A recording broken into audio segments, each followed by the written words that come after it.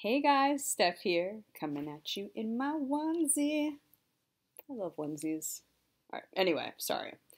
Um, I want to talk to you about two lines that you can say to yourself when you notice yourself in obsessive spin that could kind of break this cycle a little bit. The first thing you want to ask yourself is Is this helpful?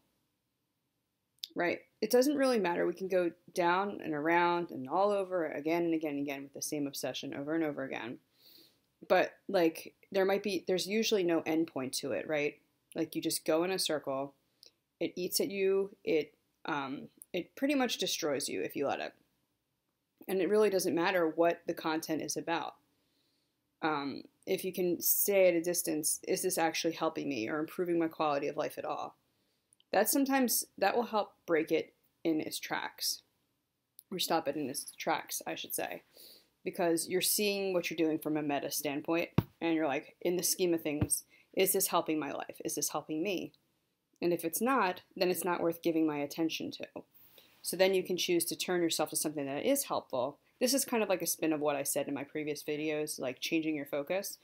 So every action you take is benefiting your life in some way. And you can classify this as this is not helping me. I'm not going to resort to this or continue down the actions that come with this obsession. I have a choice to not do this.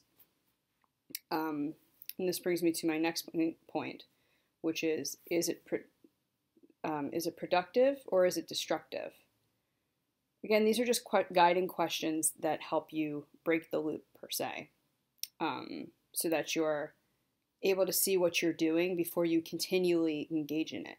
It doesn't matter how far away, far along you are in the obsession, as long as you can ask yourself this question, that should help kind of steer you in a better direction. So again, you want to ask yourself, is this helpful? Is it kind? And if it's not, what else could I do to see it for what it is and move on to something else? And the other one, is it productive or is it destructive?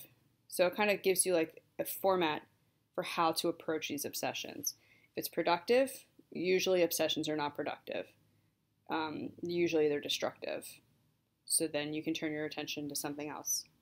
I hope this was helpful. Please feel free to reach out to me. Sorry, leave a comment, and I will talk to you soon.